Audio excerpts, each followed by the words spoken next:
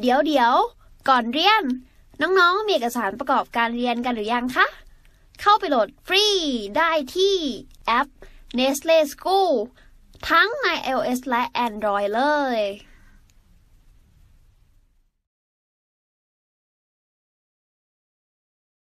ต่อมานะครับ ข้อที่ 12 นะครับ แก๊สออกซิเจน ปริมาตร 235 ลูกบาศก์เซนติเมตรนะครับ ที่อุณหภูมิ 15 องศาเซลเซียส ความดัน 1.5 บรรยากาศนะครับ จะมีปริมาตรเท่าใดที่ STP นะครับ จะมีปริมาตรเท่าใดที่ STP ก็อันนี้นะครับเขาบอกมาอะสภาวะแรกนะครับ V นะครับ เท่ากับ 235 ลูกบาศก์เซนติเมตรนะครับ แล้วก็ T นะครับ เท่ากับ 15 องศาเซลเซียสนะครับ ความดันนะครับ P เท่ากับ 1.5 บรรยากาศนะครับ ก็ไม่ได้บอก ไม่ได้บอกจำนวน n มานะครับ ก็ถือซะว่า n คงที่นะครับ ให้ n คงที่ ก็ถ้า n คงที่นะครับ เราใช้สูตร p 1 v 1ส่วน t 1นะครับ เท่ากับ p 2 v 2ส่วน t 2นะครับ อะ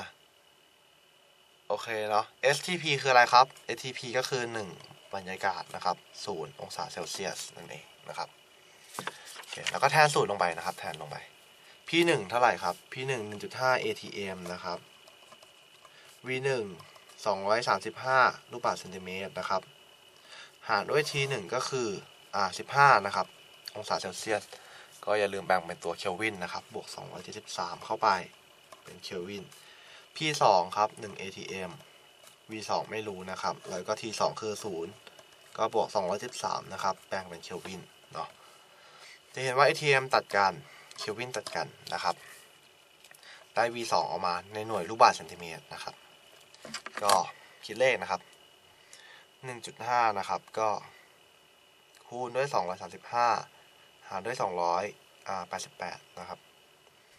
แล้วคูณด้วย 273 ได้ V 2ออกมานะครับ 334 นะครับ ลูกบาศก์เซนติเมตรครับ334 ลูกบาศก์เซนติเมตร อันนี้ก็จะเป็นตัวกดรวมแก๊สนะครับ กดรวมแก๊สครับ ก็เลือกใช้ให้เหมาะสมนะครับ โอเคเนาะ จบข้อที่ 12 นะครับ เรียนจบแล้ว อย่าลืมเข้าไปฝึกทำข้อสอบแบบจับเวลา ในแอป Nestle School กันด้วยนะจ๊ะ ถ้าน้องๆมีคำถามสงสัย ไม่เข้าใจตรงไหน ถามว่าในแอปได้เลย แล้วพี่ๆจะรีบเข้าไปตอบให้นะคะ